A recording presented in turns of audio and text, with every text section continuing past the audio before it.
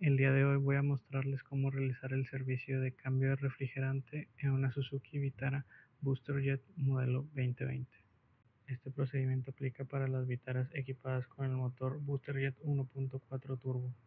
Antes de comenzar con el procedimiento, es importante conocer los intervalos de servicio según las recomendaciones del fabricante. De acuerdo con el manual de usuario, el refrigerante recomendado es el Suzuki Super Long Life Coolant Azul, el cual tiene una concentración de 50-50. Y recomienda realizar este servicio la primera vez a los 150.000 kilómetros o 96 meses, que serían 8 años, y posteriormente realizar el servicio cada 75.000 kilómetros o cada 48 meses, que serían 4 años. En el manual también menciona como alternativa el refrigerante Suzuki Long Life Coolant Standard, que es el de color verde, pero sus intervalos de servicio deberían realizarse cada 40.000 kilómetros o 36 meses, que serían 3 años. Yo compré el refrigerante original directamente en la agencia y me costó 780 pesos, algo así como unos 40 dólares el galón. Si busca una opción más accesible, encontré estas dos opciones que les pueden servir. La primera es el Preston azul para vehículos asiáticos y la segunda es este PIC azul para vehículos asiáticos. Solamente asegúrense de que sean las versiones que ya vienen mezcladas en una proporción de 50-50. Cabe mencionar que yo personalmente no he utilizado ninguno de estos dos, pero de acuerdo a las especificaciones ambos podrían ser una alternativa. Ya los dejo a su consideración. Antes de iniciar el servicio, asegúrate de tener las siguientes herramientas y materiales. Refrigerante, un ratchet o matraca, no sé cómo le conozcan ustedes a esta herramienta, un dado de 10 milímetros, un embudo, un recipiente para recolectar el refrigerante usado,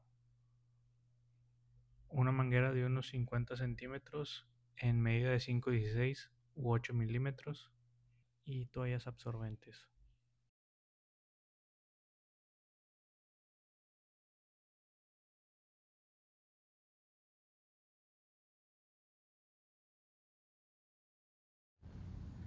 Ok, para remover la terminal negativa vamos a tener que aflojar esa tuerca con nuestra matraca y dado de 10 milímetros.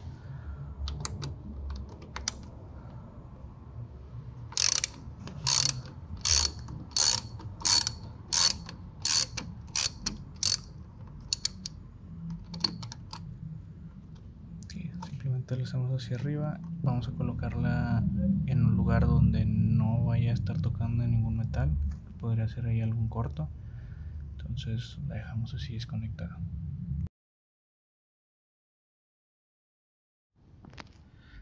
Ok entonces presionamos hacia abajo giramos en sentido contrario a las manecillas del reloj y ya tenemos el tapón fuera. Vamos a ponerlo por aquí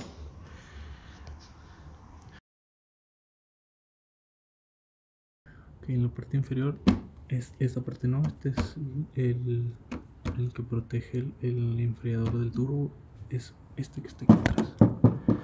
Está un poquito más suave. Ok son estos tornillos en cabeza hexagonal. Entonces para esto vamos a utilizar la matraca y el dado de 10 milímetros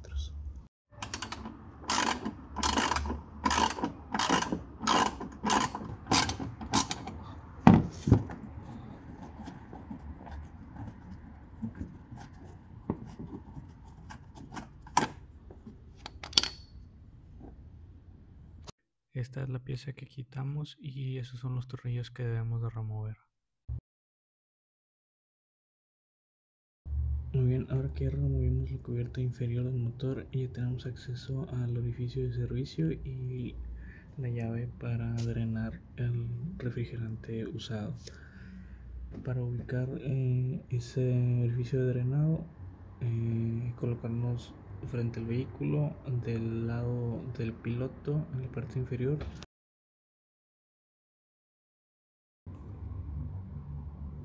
Aquí está está el electroventilador. Y aquí abajito está asa blanca que se ve ahí al lado izquierdo. Es la llave este es el orificio de servicio. Ahí tenemos que conectar la manguera Ok, ya quedó colocada manguera de servicio y el otro extremo de la manguera lo colocamos eh, dentro del recipiente donde vamos a recolectar el refrigerante usado.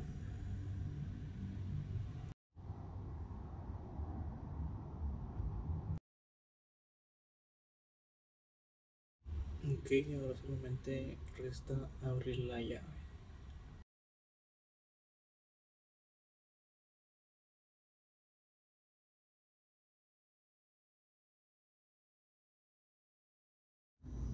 Ok, si vemos si el flujo ya es mucho más lento, igual vamos a dejarlo hasta que ya no le salga nada, tardar unos minutos.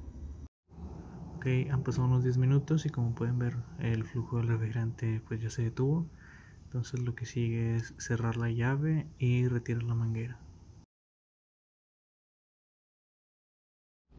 Muy bien, ahora el siguiente paso es llenar el depósito de expansión, que es este el tapón verde. Entonces este simplemente lo jalamos hacia arriba.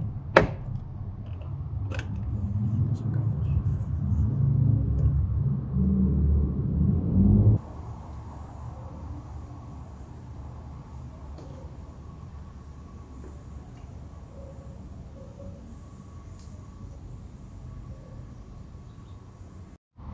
Bien, no sé si alcanzan a ver, ya lo tenemos en la línea de full.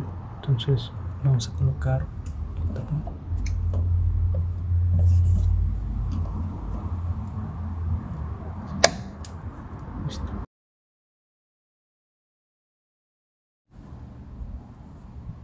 El siguiente paso es eh, llenar alrededor.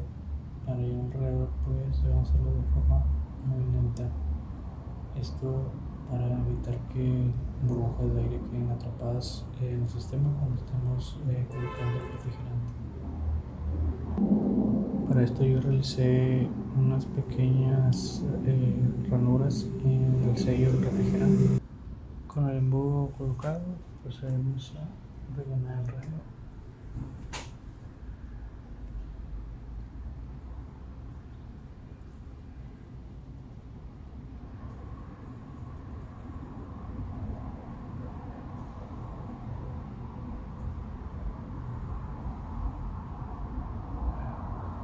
Muy bien, aquí podemos ver que ya se encuentra en el nivel correcto el radiador.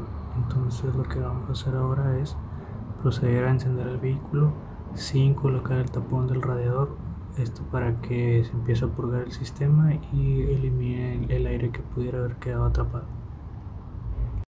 Y obviamente antes de encender el vehículo volvemos a conectar la terminal negativa de la batería.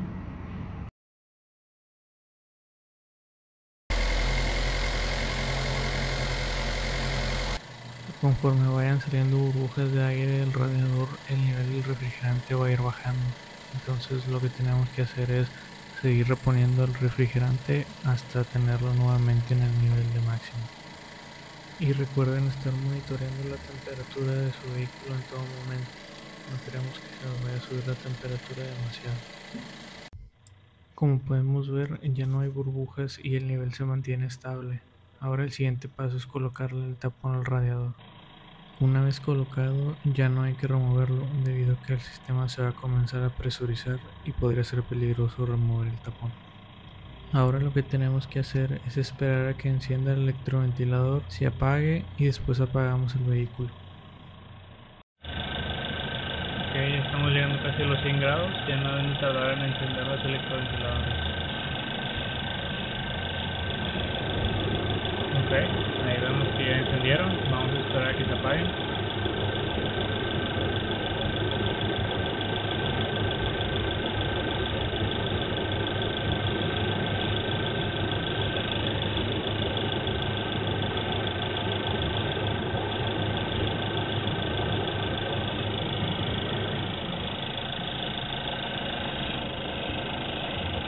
Ahí se apagaron, ahora apagamos el vehículo. Pasó más de una hora, el motor ya está frío, entonces eso podemos abrir el radiador.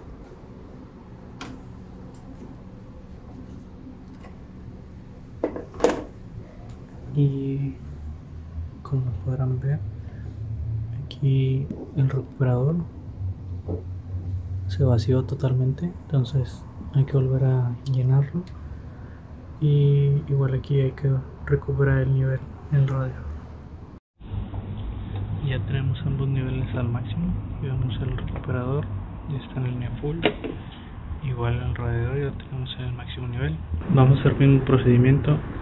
Encendemos el vehículo esperamos a que se caliente que enciendan los electroventiladores que apaguen y apagamos el vehículo nuevamente. Ya con el motor en frío vamos a revisar nuevamente los niveles. Si ven aquí en el recuperador eh, varió menos que la primera vez igual hay que, hay que volver a llevarlo hasta la línea full. Y revisamos el radiador.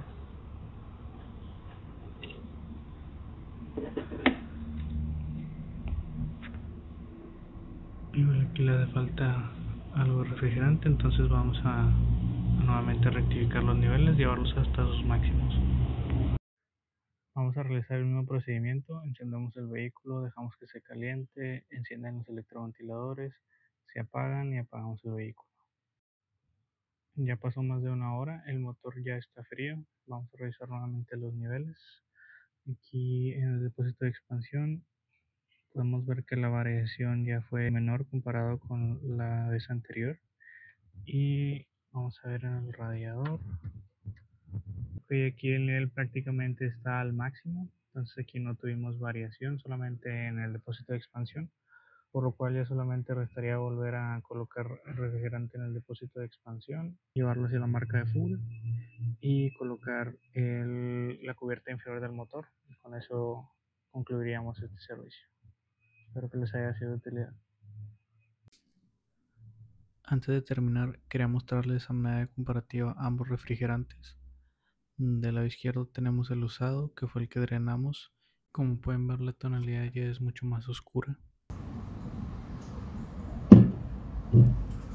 Y el nuevo tiene un tono más azul y cristalino que nos permite ver a través de él. Bueno, eso fue todo y muchas gracias por haber llegado hasta aquí. Saludos.